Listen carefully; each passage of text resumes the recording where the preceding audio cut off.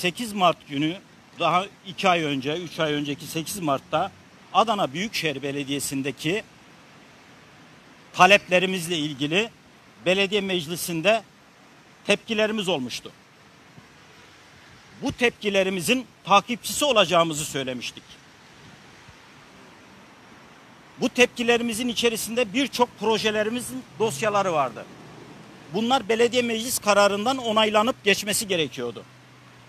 Ancak Büyükşehir Belediyesi'ndeki Zeydan Başkan'ın himayesinde olan bürokratlar, zatlar dolayısıyla bunlar engellerin talepleri karşısında bile çok küçüldüler ve aciz duruma düştüler. Tepkilerimiz bunlardı. Bu yapı direktmen bir kibir zehirlenmesine, kolektif bir kibir zehirlenmesine yakalanmış durumda şu anda.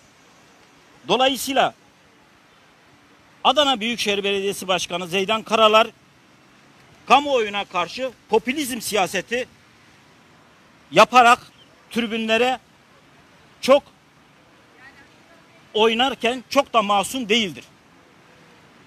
Bu konuyla ilgili riyakat sahibi olmayan belediyedeki bürokratların, sözde bürokratların derhal istifa etmelerini istiyorum. Bunlara isim verebiliriz. Başta Zeydan Başkan, İsmail Güneş, Türkan Eşli, Özlem Karaoğlan isimli genel sekreter yardımcıları ve daire başkanları tamamı istifaya davet ediyoruz. Ediyor muyuz arkadaşlar? Evet, evet. Dolayısıyla ya bu engellerin hak temelli beklentileri çözülecek ya da biz bugünkü basın açıklamamız bizim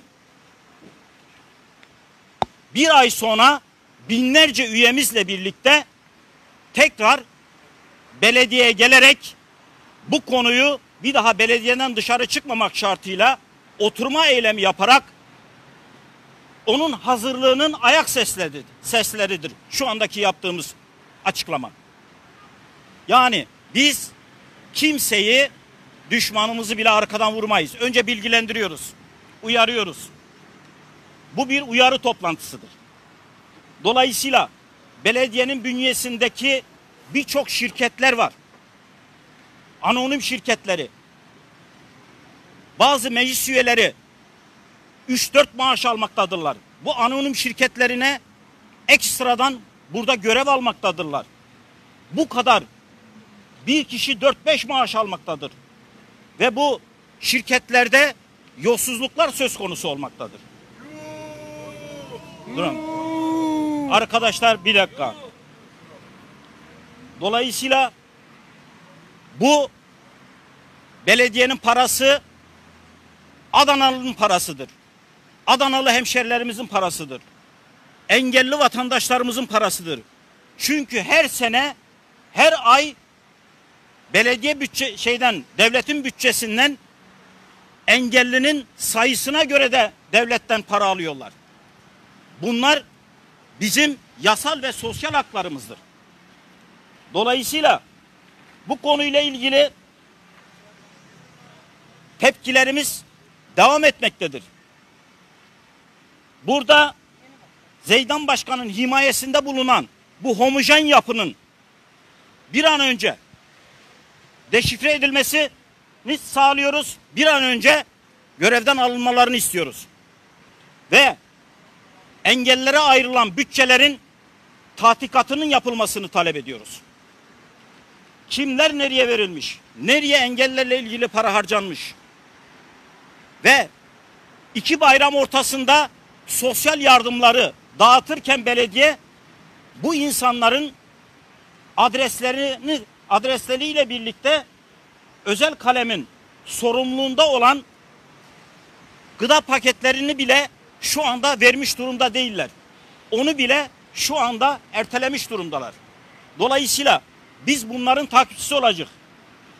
Bundan sonraki süreci on binlerce üyemizle birlikte hazırlık içerisine giriyoruz.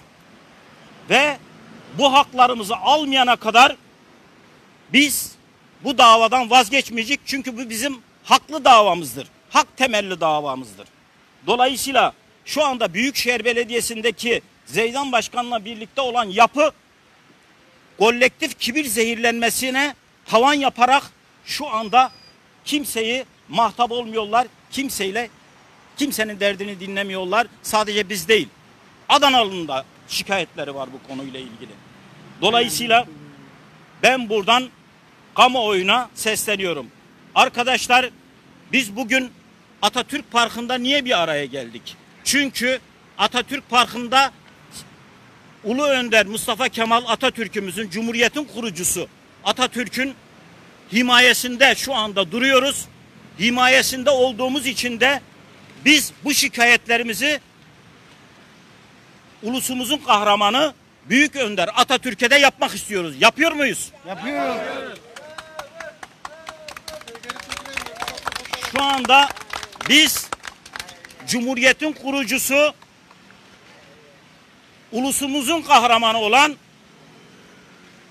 Atatürk'e bu yapıyı işgal eden devletin makamını işgal eden bu kişileri şikayet ediyoruz. Kime? Ulu Önder Atatürk'e şikayet ediyoruz önce. Aynen öyle. Ondan sonra Adanalı'ya şikayet ediyoruz.